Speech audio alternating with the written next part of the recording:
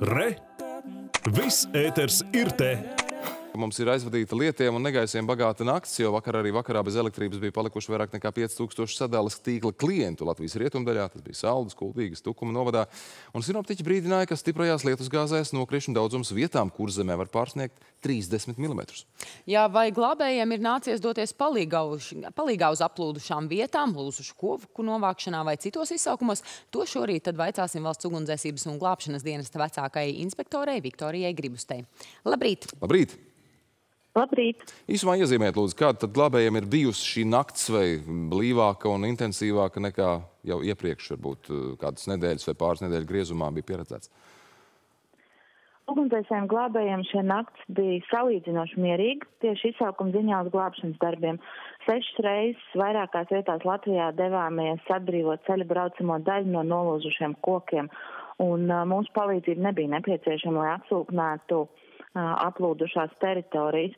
Bet nestoties to darbu, tāpat pietika, jo bija vairāk ugunsgrēku, bija vairāk citi glābšanas darbi.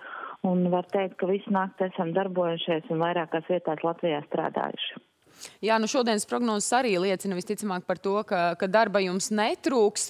Kā šādos gadījumos um, jūs rīkojaties? Vai kaut kā operatīvi jau potenciāli apzināt iespējas varbūt piesaistīt vairāk uh, papildu spēku, vai tomēr uh, dienests uh, ikdienas režīmā strādā arī tad, ja sola, nu, piemēram, lielus negaisus, kā tas ir iespējams šajās dienās?